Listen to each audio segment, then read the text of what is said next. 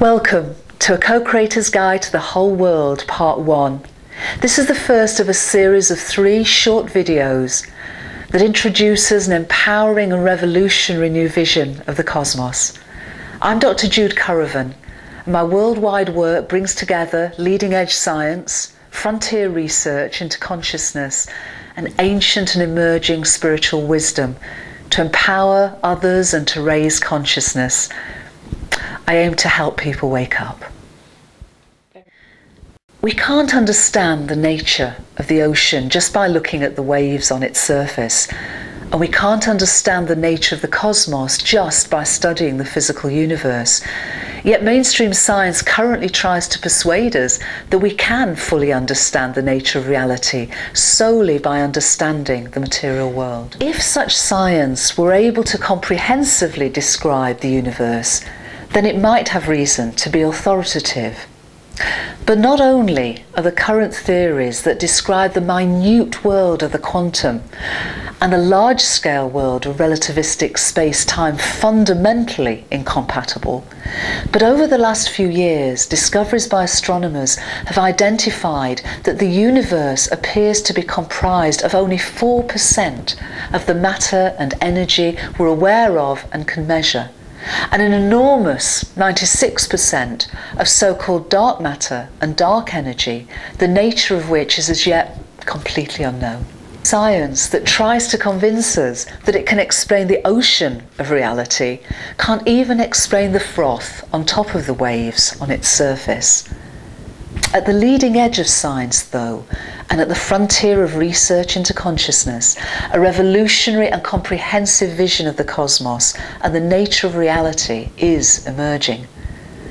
A groundbreaking experiment in 2007 by an Austrian team of physicists led by Anton Aspelmeyer and Markus Zeilinger proved that what we call real doesn't actually exist until we observe it.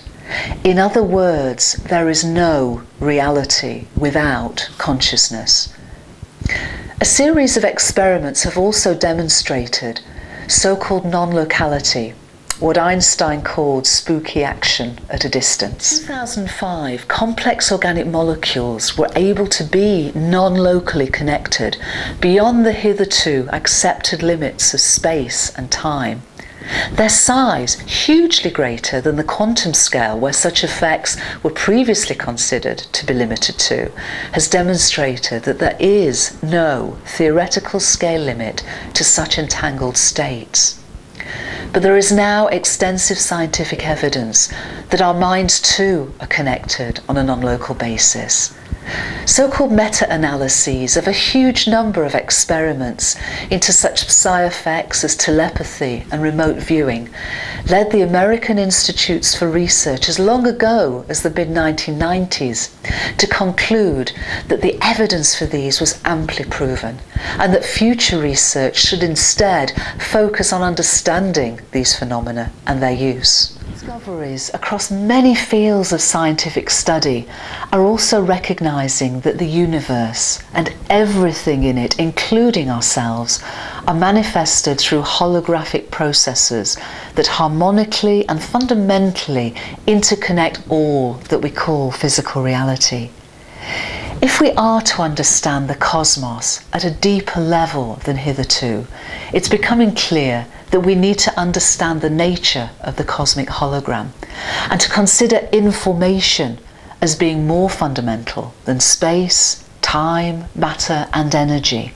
For it's from the primordial field of information, of consciousness itself, from which all that we call reality is manifested. The ancient Vedic sages of India call this primordial field of information Akasha, meaning all pervasive, all encompassing space. The Akashic or A field is the holographic information field from which arises all that is, has ever been, and will be. Crucially, this revolutionary vision of the cosmos means that we're not only the creation of cosmic mind, but the co creators of our realities.